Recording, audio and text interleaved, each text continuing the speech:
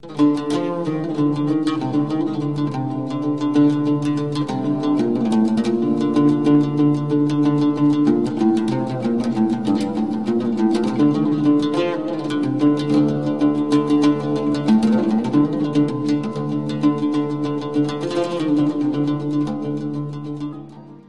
the ancients believe in a flat earth or a spherical earth?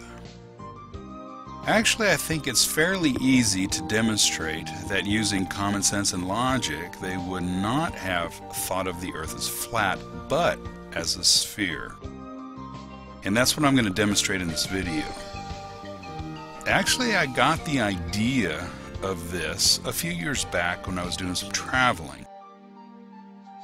I got up around 4 o'clock in the morning and headed out on I-70 heading due west. Of course, it was dark outside, stars were out, and the moon was directly in front of me as I was driving. I kept watching the moon, and lo and behold, I was witnessing an eclipse of the moon. Of course, that made sense because directly behind me was the sun coming up. And therefore, the Earth was right in between the Sun and the Moon. In addition, that shadow that was going down the Moon was moving at about the same speed as the Sun moves. Another piece of evidence the ancients would have had to understand that that shadow was being cast by the Earth from the light of the Sun. Well, I saw the shadow of the Earth on the Moon, and that got me thinking about how the ancients would have understood that shadow. Here we have the Earth. It's flat. This is a flat Earth. Okay, let's bring in the Moon.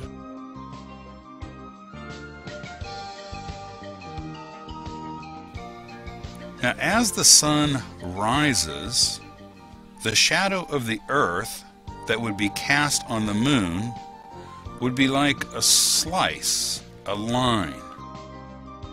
It was pretty obvious that the shadow that I was seeing coming down the moon was the shadow of the earth because I knew the sun was directly behind me. And that shadow did not look like a line. Instead, it looked like a disk.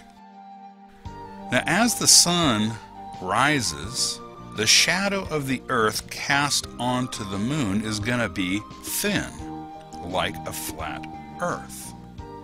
Even if it had a rounded bottom, like, say, a bowl, you would still see a shadow that looked like a bowl.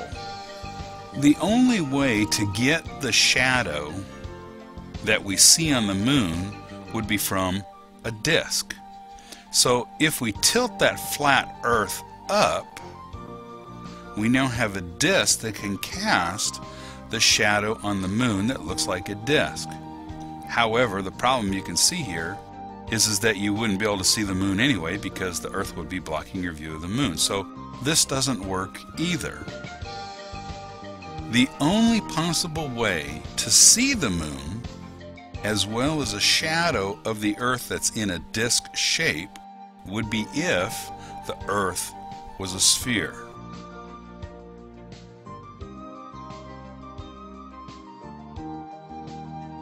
And here we see exactly what we have in an eclipse, or a partial eclipse, with the sun rising and the shadow of the Earth passing through the moon. Now, I'm not a scientist and I'm not an astronomer, so I apologize for some of my technical errors in this video, but hopefully I think it demonstrates that the ancient man probably understood that the Earth was a sphere based on the lunar eclipses.